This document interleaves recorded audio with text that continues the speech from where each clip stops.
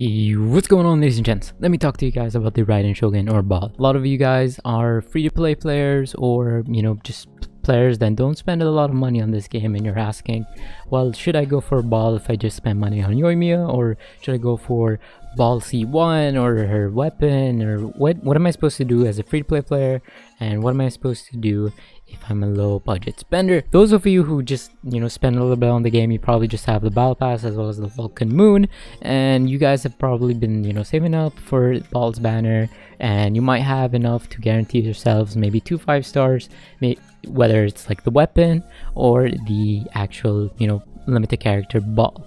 And if you guys are not on the guaranteed for Baal, and you still have like two five stars, that's one guaranteed Baal, and that's that's the way to go and a lot of people I, I see a lot of people saying oh i just spent you know my Primogems on yoimiya but i really want Baal what am i supposed to do and where do I go from here? Pretty sure by the next patch we're going to have a new island being added to Inazuma if we just go over here.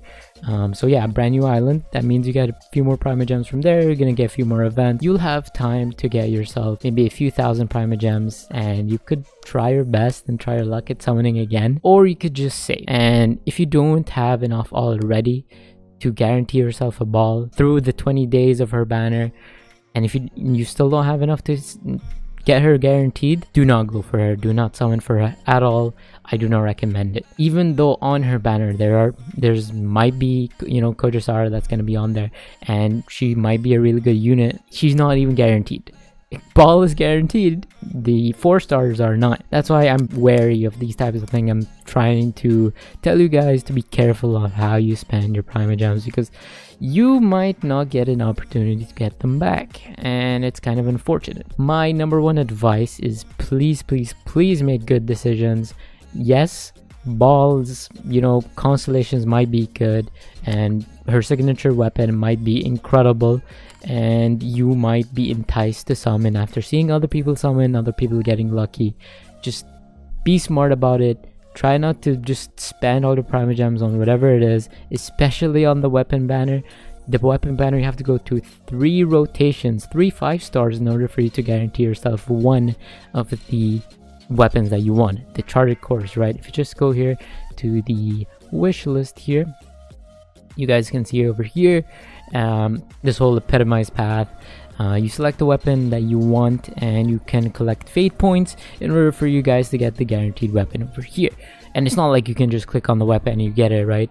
It's uh, it's a process. You have to get three five stars in order for you to guarantee it or you can get extremely lucky and get the weapon you want. You probably would not get the thing you want especially off the weapon banner um, a lot of people summon on the limited character banner because you it's guaranteed. You go, I don't know, 80 times. You get you hit soft pity. You get that five star. You might lose it, but the next 80 or the next 75 that you summon on, you're guaranteed. And you might get unlucky and you have to go to pity to 90. That's also a chance. You get your the five star you want because you're guaranteed it.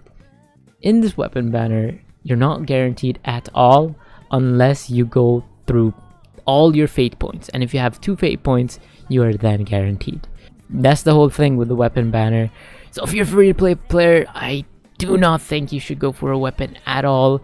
Um, if you guys see you know some streamers or youtubers do that it's because they don't mind getting whatever other weapon that's on that banner or any other five star weapon at all. They don't mind spending on it because it's probably their second account or it's just an account they don't care about or if you guys have seen the smart free play players, they don't even spend on the weapon banners at all, and they rather just wait on the standard banner, which has already 5 star weapons that are pretty good still. And in the past, there were some weapons that were given out. For example, if we go to our inventory over here, I can show you guys, for example, the Dodoco Tales is a weapon that was given out for free. They give you a free R5, and it's pretty good in my opinion. And a lot of people, you know, is able, everyone's able to get it, right? Same thing with the Windblume Ode. It's free, you get an R5 weapon of it, and who's to say you won't get another one of these in the future? An example would be a Albedo rerun. If they have an Albedo rerun, I can see the weapon coming back. The whole uh, Festering Desire, which I personally missed, even though I do have Albedo. Um, I didn't do the event. Around that time, I did take a break from Genshin Impact, which is kind of unfortunate for me. In order for me to summarize everything I said, feel free to play your budget please do consider all your options.